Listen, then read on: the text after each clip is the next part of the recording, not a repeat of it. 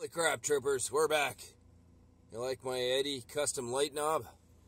Yeah. Well, I'm about to show you a hack job that Mickey Mouse himself would be proud of. So we drained our level down here a little bit on this clutch slave, which is what we're on about again.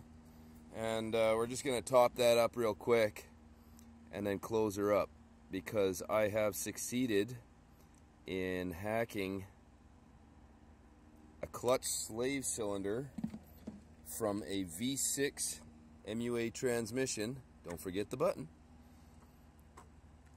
and putting it on a four-cylinder MUA transmission. So it's definitely a hack job that I did not want to do, but as I explained in the uh, last video, which is likely going to be the next video, uh, I have a clutch slave that is on order. It doesn't arrive until tomorrow, and I need this trooper to work. So let's check it out. You can see what I've done. Because uh, I think, honestly, Mickey Mouse, Donald Duck, and Go uh, Goofy, they'd all line up and say, hey, man, that works.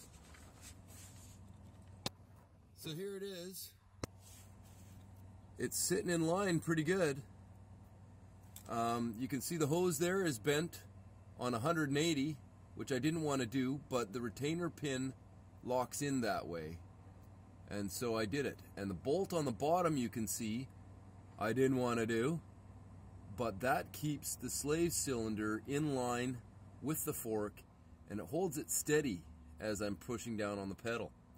And so that was the big deal is that that, uh, that mounting tab on the lower side is too far forward for the four cylinder MUA.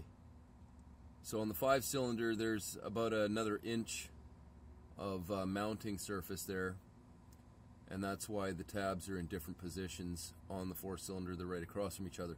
So what I've done is I've taken a bolt that's a little bit longer than the actual mounting bolt coarse thread. I've jammed it in the hole on an angle while I had the top bolt about a half inch loose just to give me some play so I could move the slave cylinder around a little bit. Uh, those teeth are basically biting into uh, the side of the transmission. They're biting into some aluminum that does not have threads on it, so that's no big deal because the threads for that uh, bolt are actually in the cast iron block on the other side. So, yeah, I'm chewing up the side of that uh, hole a little bit, but it's on the inside. Nobody's ever going to see it, and it doesn't make any functional difference. And in the meantime, I tighten down the top bolt, which is the proper mounting bolt, as tight as hell. I'm telling you, that one is on there strong. And so I've just bled it. I've bled it a few times by myself. Um, you know, I'm, I'm, definitely lacking an evacuation kit, a one-man bleeder kit. Um, so I just did it the old school way by myself for a few pumps.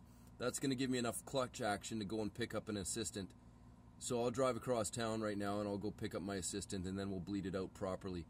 But look at that. Slave cylinder off of a GM V6 MUA transmission fitting onto the Isuzu 4ZE1 MUA transmission.